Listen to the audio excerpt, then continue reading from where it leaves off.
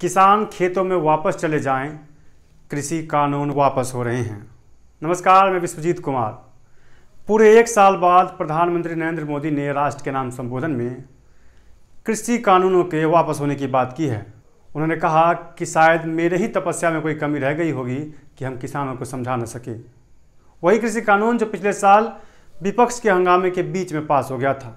प्रधानमंत्री ने देश के किसानों से माफ़ी मांगते हुए खेतों में वापस जाने की अपील की है। मैं आज देशवासियों से क्षमा मांगते हुए सच्चे मन से और पवित्र हृदय से कहना चाहता हूँ कि शायद हमारी तपस्या में ही कोई कमी रही होगी, जिसके कारण दिए के प्रकाश जैसा सत्य कुछ किसान भाइयों को हम समझा नहीं पाए आज गुरु नानक देव जी का पवित्र प्रकाश पर्व है। ये समय किसी को भी दोष देने का नहीं है। आज मैं आपको, पूरे देश को ये बताने आया हूँ कि हमने तीन कृषि कानूनों को वापस लेने का, रिपील करने का निर्णय लिया है। आंदोलन की शुरुआत कृषि कानूनों के पास होने से शुरू हो गई थी, जब 3 नवंबर को हरियाणा और पंजाब के किसानों ने दिल्ली चलो का आह्वान किया था।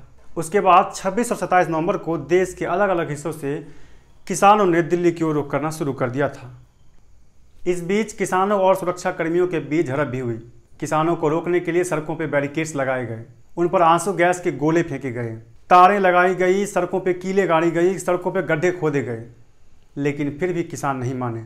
उसके बाद सरकार और किसानों के बीच कई बार वार्तालाप भी हुआ, लेकिन उसका कोई निष्कर्ष नहीं निकला, किसी भी बात पर सहमति नहीं बनी। इस आंदोलन के क्रम में 700 किसानों की मौत हो गई, जिसमें लखीमपुर खीरी वाली हिंसा भी शामिल है। लेकिन अंततः किसानों की जीत हुई और प्रधानमंत्री ने कृषि कानूनों की वापस होने की बात की। क्या ये पहली बार है जब किसी सरकार को किसानों के सामने झुकना पड़ा हो? जी नहीं। बात है उन्नीस सौ अठासी की जब राजीव गांधी सरकार में थे। उस समय भी एक बड़ा किसान आंदोलन हुआ था, जिसकी अगुवाई राकेश टिकैत के पिता बाबा टिकैत कर रहे थे।